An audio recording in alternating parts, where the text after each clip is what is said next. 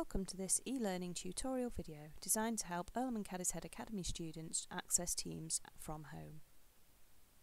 In order to access Microsoft Teams, you're first going to need to go to office.com on any web browser, Safari, Edge, Google Chrome, whichever you want to use. Go open it up, op go to the top of the page and type www.office.com. When you get there, click sign in. You're going to need to sign in with your school email address. Your school email address is your username at irlamandcadishead.org.uk. Your username is the year you joined the school, the first letter of your first name, and your surname. So for in year, 7, it would be 20, the first letter of your first name, say J, and then your surname, say for example Bloggs, if your name was Joe Bloggs, and then at irlamandcadishead.org.uk. Your password is the password that you use for school, all of this information should be recorded on the logins page of your planner. If you have any problem at all with this, please contact your form tutor or your computing teacher and they'll be able to help you. If you are working remotely via home learning, please ask a parent or carer whose details are registered on the school system to email inquiries at irlamandcadishead.org.uk to help you with this step. Once you've got your login details to hand, click and you've typed it in, click sign in. This will take you to this page which checks if you are happy to stay signed in. It's fine to say yes. When you get to this page, it is a welcome page. You'll know you've signed in properly because it should say your name up here. I'm using a test account, so it says 18 test, but yours will actually display your name up here. On the left hand side, you've got links to lots of different apps. Here, we've got free versions of Word, Excel, and PowerPoint, which you can use without having to install anything at home you can just click them and they'll open in your browser. You've also got Outlook, so you, this is what we use in school for emails. So you can use this to access your school email, contact your teachers, and, and communicate from home remotely. We've also got OneDrive. In school, all of your files are saved onto your OneDrive. This means that when you are working from home, you can log in to office.com, click the OneDrive, and you can find any documents that you've been working on. This enables you to seamlessly switch between working at home and working at school. You can finish off things that you started at home in school, and vice versa. Crucially today though we want to look at Teams, so we want to find the purple app near the bottom with the little white T on it. Clicking Teams.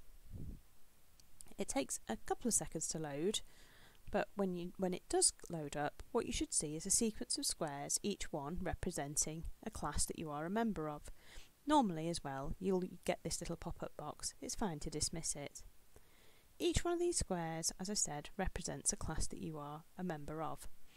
It shows the year you you are studying in, so we're in 2020 right now, so the academic year 2020-2021, so we it starts 2020, and then the class that you are a member of, this test student is a member of 9x1, and then for each square it'll have two letters.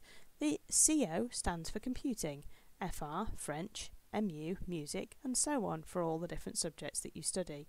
You may also have additional groups for things like your head of year sending announcements, your form tutor wanting to get in touch, or maybe even any co curricular clubs that you're a member of.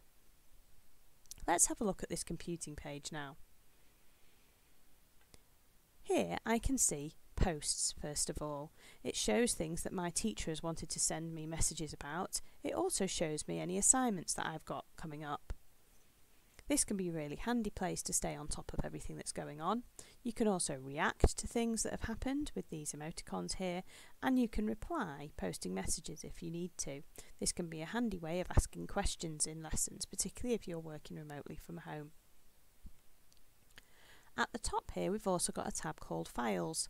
If we click on Files and then click Class Materials, You'll find all the lesson materials for every single lesson that you've had so far this year and perhaps even some that are coming up.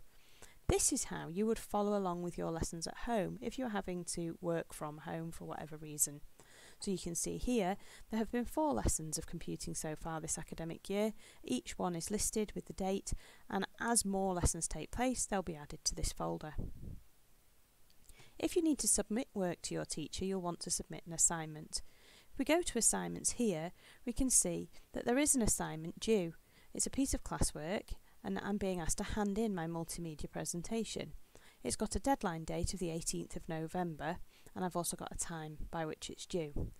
If I click on that assignment, I can see some more detailed instructions. There is also a place to add my work. If I've read through the instructions and I'm ready to submit my work, I'll click this Add Work button. I can choose to add work either from the OneDrive that's associated with my, my student account or from the device that I'm working on. On this occasion, I'm going to upload from this device. When I do this, I can see all the different areas on my computer. If I click on Documents, here's my climate change presentation that I want to include. I'm going to click Open, and a little green bar shoots across to show me that that's loaded. Once that's gone across, I can click Done. It will attach my piece of work to my assignment, and then I must remember to click the Hand In button. Right now, my teacher can't see this piece of work. It's only me that knows this. I've attached this to this assignment. So only when I click Hand In that that piece of work then gets sent to my teacher. I get a little funky animation to tell me that it's happened, and I also get a notification here saying that it was handed in and the date and time it was handed in at. To stay on top of what assignments you've got due, it can be useful to use the Assignments tab on the left hand side. This shows you all the assignments due for every subject, not just each individual one, and can save you having to click through all of your classes every single night. You've also got a calendar. Your calendar will display your timetable. It doesn't display one for this particular account that I am on because it is a test account, but when you log in, you should see your timetable displayed here. You can also use the activity button. The activity button is, serves as a notifications page and what it does is it, it notifies you every time something happens within your lessons. So if you receive an at mention, as happened here for this entire computing class, or if you receive an assignment, it will appear here. It is still worth going through and checking the posts on each individual's team page uh, as you're going through though, just to make sure that you aren't missing anything. I hope you found this video useful. If you do have any further questions about how to use Teams, please do get in touch with either your computing teacher or your form tutor who I'm sure will be more than happy to help.